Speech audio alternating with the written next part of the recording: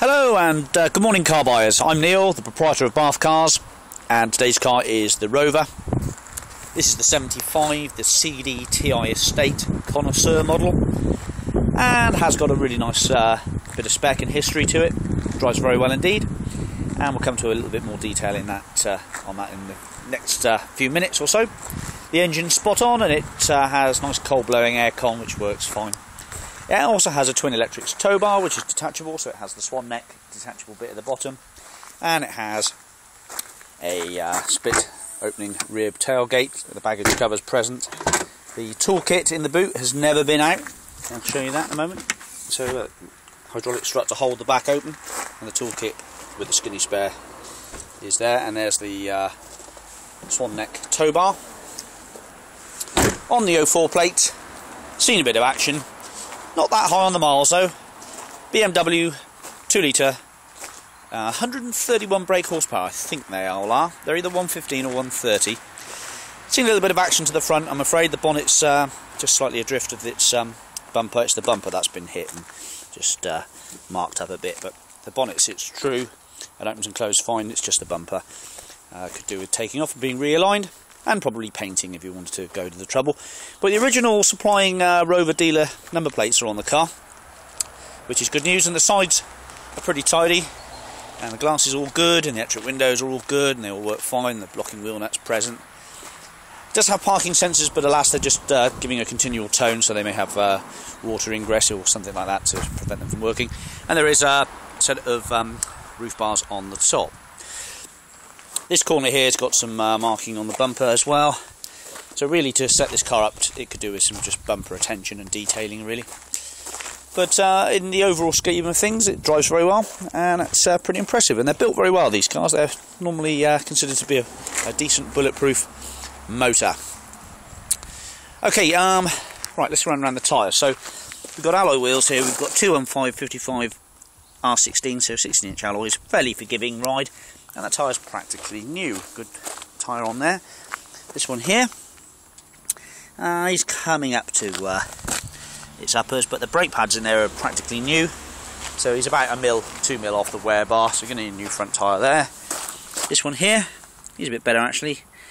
He's about two mil off the wear bar, a bit better. And the rear one again on the side uh, is plenty of tread to go, not far off new that one, 80% to go. Right, uh, we have done a history uh, and document section then for this car, so let's go and have a look at that.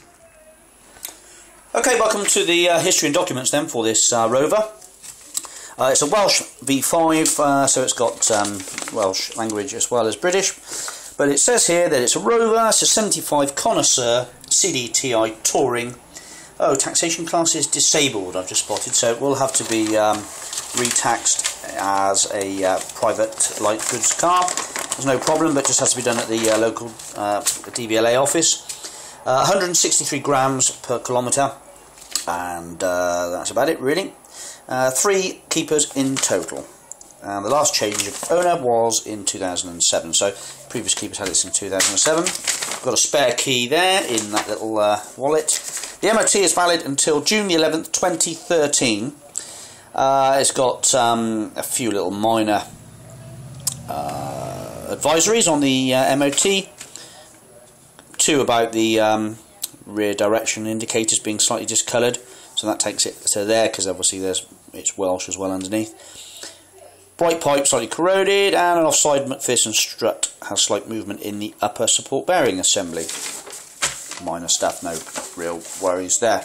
Uh, the radio code is present, and the service book, which is also the owner's manual, has got stamps in the book here and the first stamp is uh, that's a supplying dealer. Uh, we've got one stamp here in 2007 at 37k another one at 51 another one at 67 another one at 80 and that's it it times out at 80 and that was done on the 5th of 2011 so it's been busy in the last year. It's done uh, well that was at 80 it's now 114 done 34k in uh, the last 15 months. So it's been a bit busy but there we go. So history's there, MOT's there, spare key, and V5. Back to the car.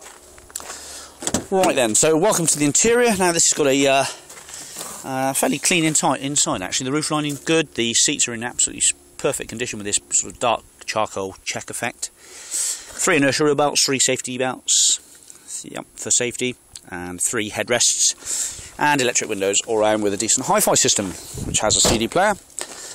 All the lights go out as they should, the airbag light, the ABS light, and the clutch is okay, and the pedal rubbers are in good order as well, as you can see. And the driver's seat is in pretty good condition as well, a little bit of water marking, but not too bad. The steering wheel's uh, unfortunately in a sort of beige colour, which has shown some uh, deterioration to the leather effect. But um, that's not the end of the world, and let's just fire up. So we've got remote locking, which works okay. Starter motors lively. 114,388 is the mileage. Fingertip control hi-fi system. Driver's trip computer. Tells you the range, all those things, with that little button on the end. Uh, it says set and reset. I don't know whether it's got cruise control. Possibility it's got cruise control, not sure, checking the manual. There's uh, CD storage, 5 speed, the gear change is perfect. As I say, that aircon works nicely and blows nice and cold, which on a car that's uh, 8 years old or so is pretty impressive. There looks like it's got an auto wiper setting and auto dipping rear view mirror. Power steering's all fine and good. And uh, the passenger seat's spot on as well. The carpets are all pretty tidy also. And the windscreen's pretty good. There's no stone chips or any marks on there to report. All pretty impressive. Let's go and have a look at that engine video. Okay, just a quick shot of the engine compartment then on the uh, Rover. Um, all looks very clean and tidy under here to be fair. Well, I say clean, we haven't cleaned the engine, there's no need to steam it or anything like that. It's looking all pretty good, it's idling over perfectly. Uh, but importantly, the uh, air conditioning system's nice and cold. We've got the high compression tubing here nice and hot, and the low compression tubing nice and frosty to the touch. So that's blowing nice and cold. But uh, idling over perfectly, can't see anything, uh, any detriment to the uh, car at all here. All original under the bonnet here, and the gas struts hold the bonnet up nicely.